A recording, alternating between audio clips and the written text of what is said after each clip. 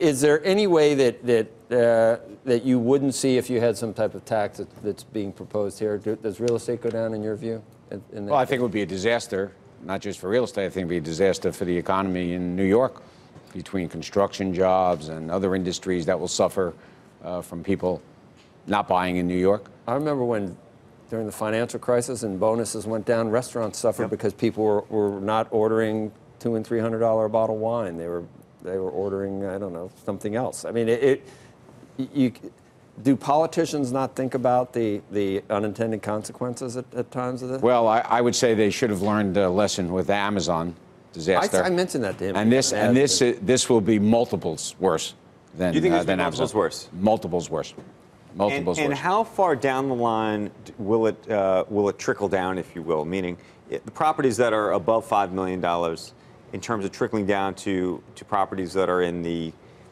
you know million dollar range or less. We should tell people what we're talking about. So we're talking about the Get Pieta their Terra tax. tax, uh, which would tax Proposed, which- proposed, the proposed. proposed pied-à-terre tax, which the governor has supported, the state assembly and senate have supported.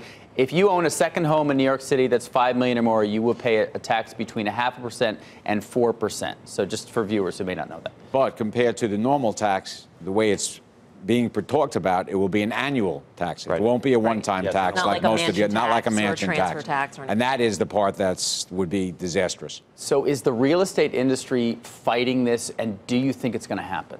I don't think it's going to happen the way it's laid out now. I think uh, the governor's a smart man, and I think they're going to come to the senses as to what it would do to the economy of uh, New York, New York City especially.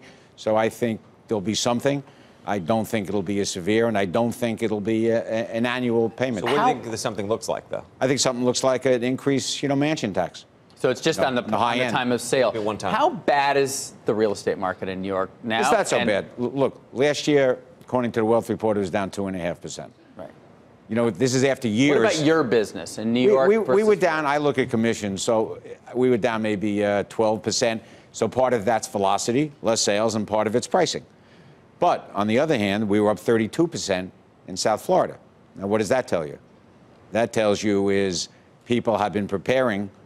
People have been leaving anyway uh, before SALT, and then as soon as the SALT was talked about, I think it sped up, and I think it'll continue. And if any tax like is being talked about is talked in passed in that fashion, where it's annual, there'll really be an exodus from New York City. we when we talk about it and you know they, they pull at your, your hearts they were talking about fixing the subways. Uh, so we need the money to fix the subways.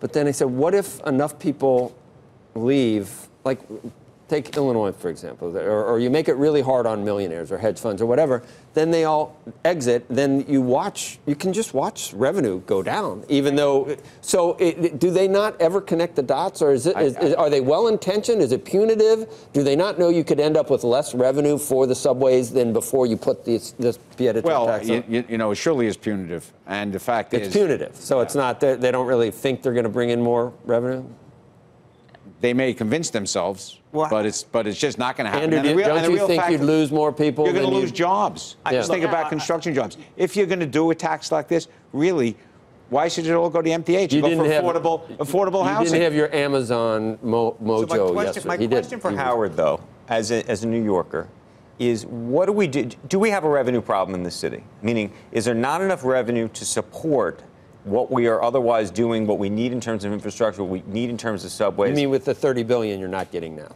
from the last screw up of the politicians? There's, a, there's been problems all over the place. The question is, are we getting the right allocation from Albany? That's part of the issue. But are we creating are we creating enough revenue in the city? If we wanted to create more revenue in the city, how do you do it? Um, what do we need to do to make this city a livable city? The subways are a mess. I'm not saying that this is the right way to do it at all. I'm saying, as somebody who has spent their, their life and livelihood and cares so much deeply about the city, if, if you could run it for a day, what would you do differently to, to, to get to the other side of the, uh, you know, to the promised land, if Look, there is look, one? look, look, it's a tough job. There's no question about it. But but the fact is, you don't you don't fix a budget by chasing people out of Right. state and out of the city. Right. You just don't. That's impossible. Start with that You know, and at a then a figure out how to fix it. Right. Yeah, at a, cer- at a certain fact, you can't you can't cut expenses enough. That's the problem. But I'm sure there is fat, as there is in every budget, and that has to be looked at very closely and probably first before you start doing crazy things on the revenue side. But what, what happens to New York real estate if this pied-à-terre tax goes through um, in terms of the cascade effect? How, how far down, does the, down the ladder does it go, do you think?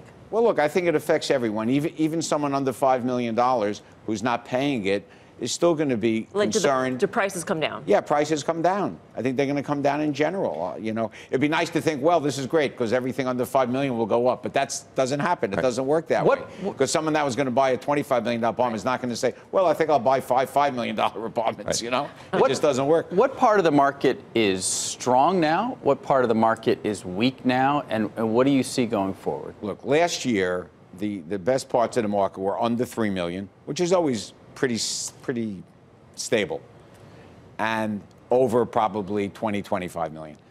And that's because the people in between, you, you know, look, you buy, you buy a seven, eight million dollar apartment, that's not a crazy price in New York City, but for the rest of the country and, and the state, it is, it is a big number. But these are, these are people that still worry about their livelihood. If they're bankers, they're worried about their bonus. If they're hedge fund guys, they're worried about their performance. They're worried about how SALT is going to affect you. They're worried about everything. When you're going over 20, 25 million, they're not worried about any of that. The only thing they're worried about is they still want a discount because they know the market's down. They want a fair price. They don't want to be stupid and overpay for something. But they'll buy all day